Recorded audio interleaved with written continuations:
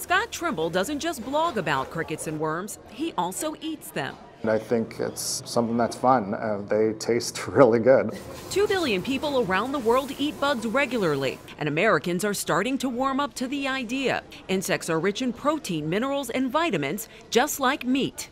I think a lot of people don't realize that insects are very closely related to crustaceans. A lot of insects taste like shrimp, a lot of other insects taste like lobster or crab. And now small companies are selling products like cookies made with cricket flour and spicy worms. It's pretty good. To keep up with the demand for edible insects, Elliot Marmel opened this cricket farm in Los Angeles, the first of its kind in California. He freezes the crickets and grinds them into flour. Once the word got out of what we were doing here, our email boxes have been filling up. Bug lovers like Trimble compare the trend to sushi, which Americans were also uneasy about eating at first. Is this about getting over what it looks like?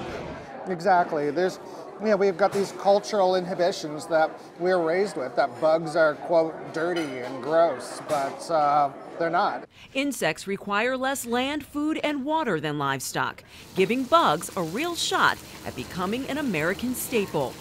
Danielle Nottingham, CBS News, Los Angeles.